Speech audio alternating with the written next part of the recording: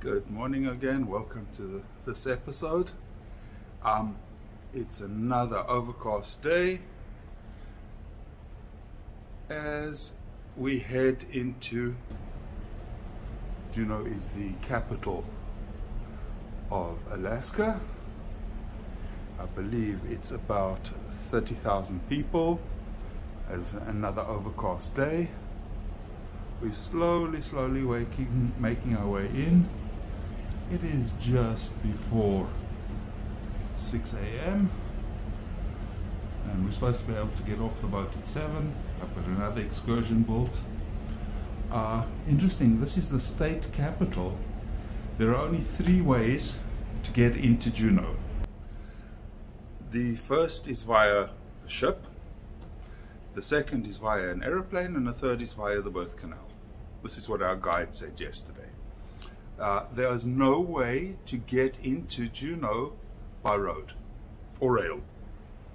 So basically you have two options. I have a shore excursion uh, booked for a little while later and looking forward to it. We're slowly pulling into port. Looks like a very quaint little town. Not sure I'd want to live here in the winter though. Hi again. So I'm doing an excursion which is two parts. The first is on a boat. We are going whale watching.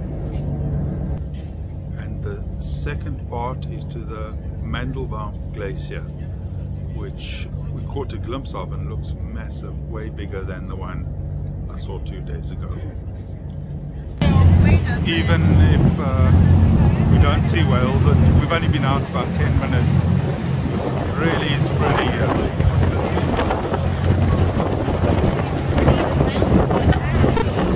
the clouds have lifted a little bit.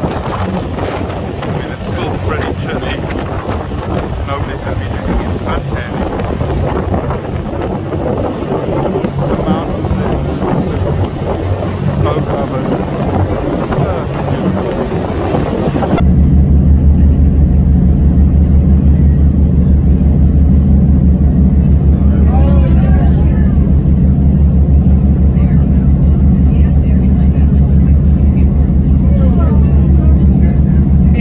Just beautiful.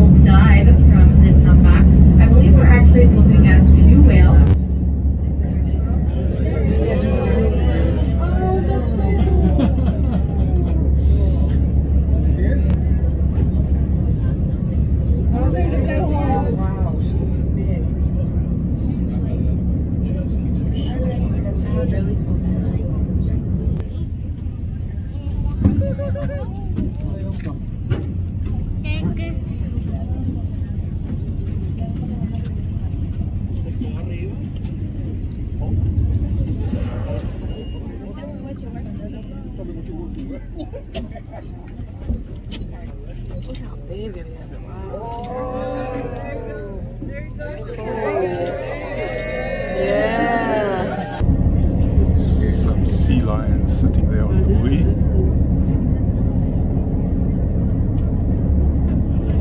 I wonder how they get up onto that. Trying salmon jerky or dried salmon or salmon biltong, whatever you want to call it, for the first time. Not bad. It is now 10.40 in the morning. The woman at the kiosk on the boat, because I'm still on the boat, tried to persuade me that it'll go well with a Bloody Mary, but it's a little early for that, even for me. Even without the whales.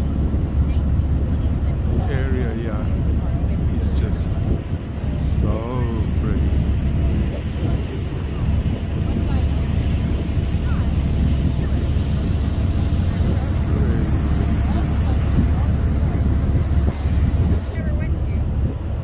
In the distance there, that white is another glacier. That's not the one we're going to though.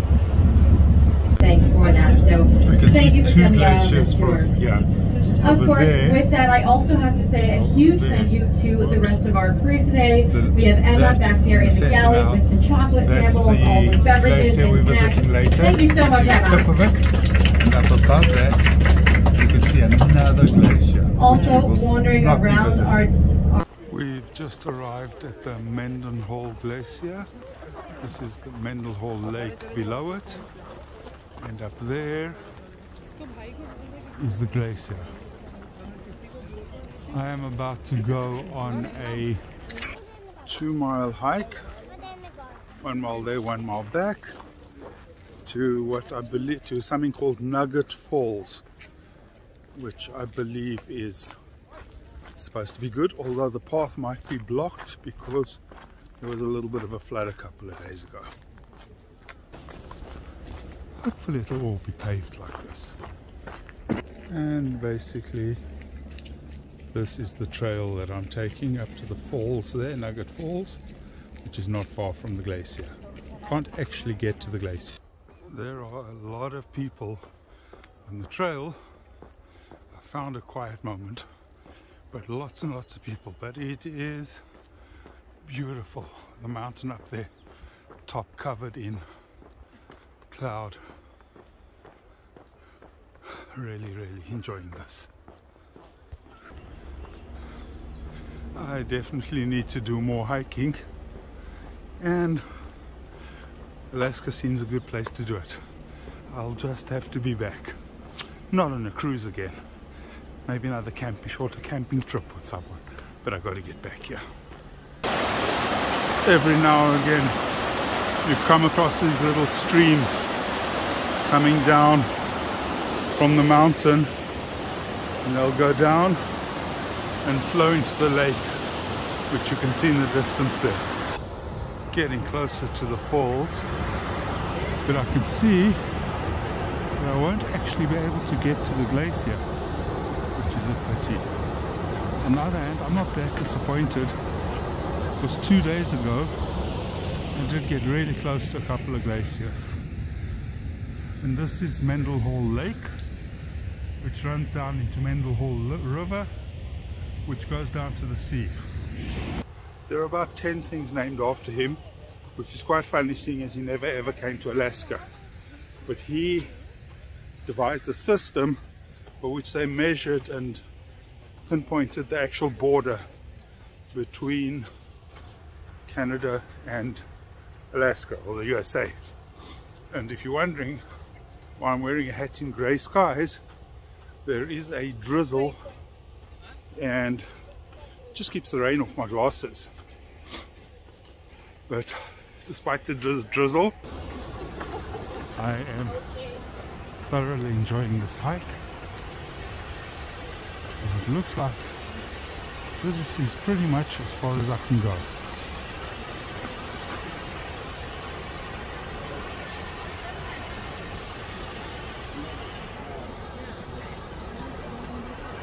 Can actually walk down there.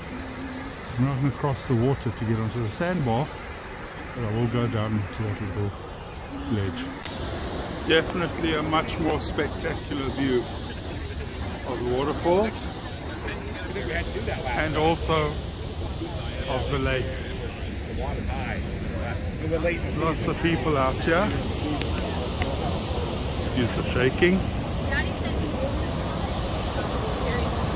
And if you're willing to get your feet wet, you can wade across to the sandbar there. But I'm not going to do it. You might get a bit of a better view of the glacier, but nah, that water is freezing cold. Okay, these scratch lines in the rock of when the Great Glacier came down the valley carrying stones and rocks and stuff with it and scratched these lines in the rock below. So this is called Observation Point and over there you can see Nugget Falls where I was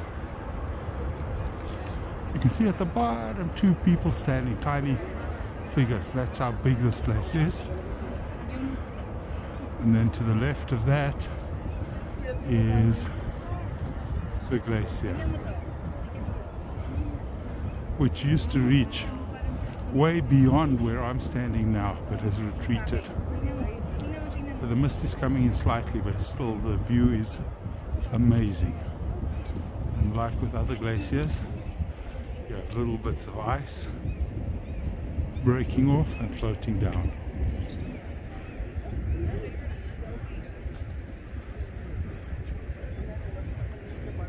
Really, really nice walk.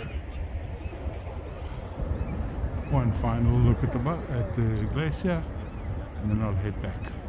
There is an observation center here. Well, it's pretty much the same view I got from observation point, but from inside. So I don't think I'll go there. I think I'm going to go. There's another. I'm on a walkway at the moment. There's another one a little bit further on, after the visitor center, where they say that sometimes you can see bears. So from the bridge. So I'm going to do that instead of the visitor center. I just learned something. That blob that you're looking at right there is a porcupine. Apparently porcupines climb trees and build their nests there. So apparently this is an area frequented by by bears but uh, there's been flooding here recently and the bears don't like that so they shoved off. It still is a really pretty little area with a creek flowing down with the walkway and observation deck and creek carries on down below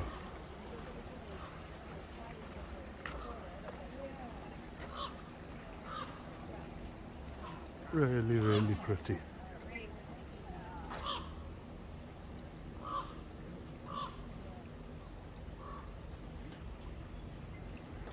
Beautiful, beautiful there.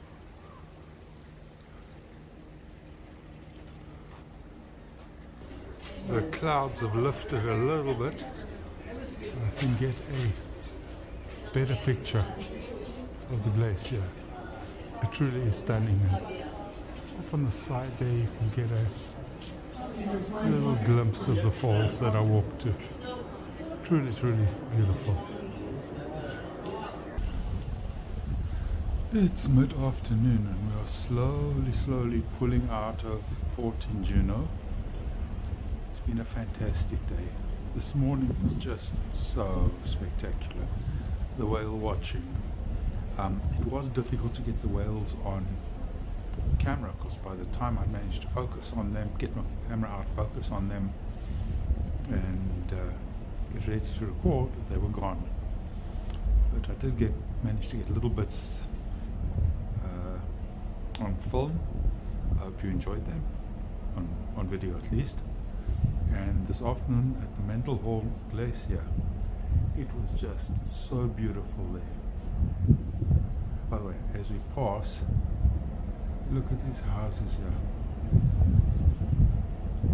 People really living, I mean, they got all the basics, electricity, water, um, you name it, but boy, this is a different lifestyle, a different pace here. This is the state capital. I think I mentioned about 33, 34,000 people live here. Um, in terms of the Mendenhall uh, this, this, afternoon, um, I actually had thought that we'd get a lot closer to the glacier, if not be able to actually get on it. Um, that was not the case. I wasn't disappointed though because two days ago I had in the Tracy Arm Fjord I got a chance to get so close to those the two glaciers there. Um, if I hadn't done that, I would have been disappointed with today. But I was actually a little worried that today was going to be more of the same, which it certainly wasn't. So all in all, it was it's been a great day. Um, I'm looking forward to dinner later on, but before I'm going to have drinks with a couple who I met uh, on a tour two days ago, and they were on the tour again today. So uh, it's good. I'm not going to film them. I don't like filming other people because they're on holiday, and a lot of people, when they film, it kind of puts them on edge. So I'll show you what I get for dinner, and then that'll be it for today. So for tonight, my first course, thank you. I'm having caprese, uh, sorry, caprese salad, which hasn't arrived yet, and also ordered a glass of wine, and looking good. Here's the second part of my starter, the caprese salad. It Looks good. Everything is really well presented. Even if it's not the greatest, like an occasional overcooked fish, it's still very well presented. So the main course is grilled salmon with steamed vegetables. Mm-hmm. Yeah, looks good. And the first part of dessert is apple pie with ice cream. Yes, I know I shouldn't be eating this, but what the hell. I walked a lot today. And to finish up, a great meal with great company, uh, a little cheese platter, and a cup of coffee. Okay, dinner was really, really great. I sat with a couple that I met. They've been on a couple of tours together from Michigan. Really nice people. We had a couple of drinks beforehand. We'll meet again tomorrow evening. We're doing separate tours tomorrow. We are now on our way to Ketchikan. We will disembark tomorrow morning. Uh, this is the last stop in Alaska. The day after tomorrow we stop in Vancouver, Canada. And then unfortunately Tuesday morning the cruise comes to an end.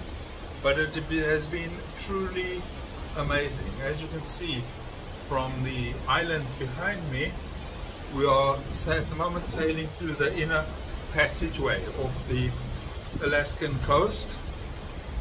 And uh, the water, I must say the whole cruise it has never been bumpy, rough seas or anything like that.